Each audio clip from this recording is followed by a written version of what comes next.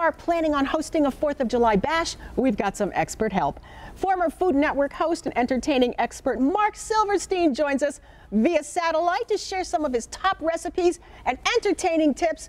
Welcome, Marc, and I can see from your beautiful set, you've made everything red, white, and beautiful, and you can help us do that too.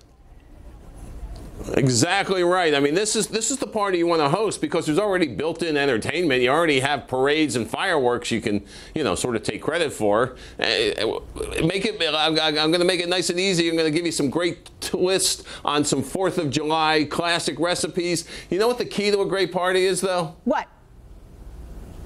The food, of course, the food is always always the key to the. You got to have a terrific spread, so you want to make sure you got plenty of supplies, plenty of food for everybody. I've partnered with some great brands to make your entertaining quick and easy, and yet your friends and your guests are going to be very impressed. All right, go for it, Marc. I want to see what you have there.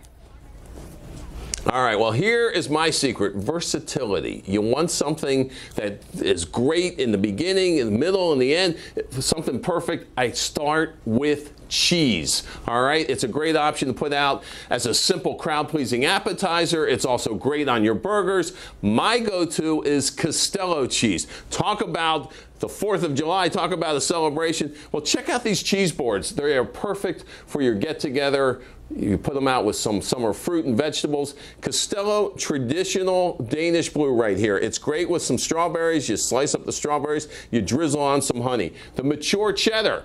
It's a great choice for your, uh, your cheese board. It's delicious with peach. And I love this idea. Dip it in with some pesto. Oh, that's mm. fantastic. The Havarti, nice and smooth. It's creamy. It's perfect with some crisp summer vegetables like radishes or early season baby corn or baby uh, carrots uh, and some grainy mustard. And of course, Castello has the slices for your burgers. Delicious slices like a burger blue and the aged cheddar with cracked black pepper. It makes burgers extra special.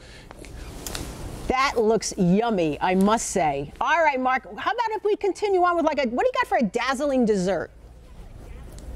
All right, I'm glad you asked that because I like to make my desserts nice and fun and festive. Also, something that's quick, that's easy, that's inexpensive, all my favorite words. The main ingredient right here popcorn. Oh. This is so perfect for your 4th of July.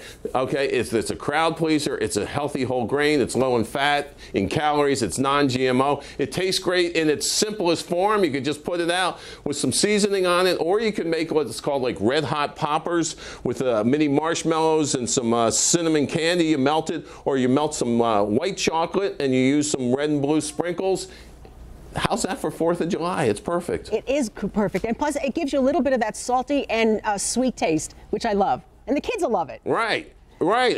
You can do salt and pepper. You can use some oregano, some uh, some uh, garlic powder. There's so many different ways you can serve it.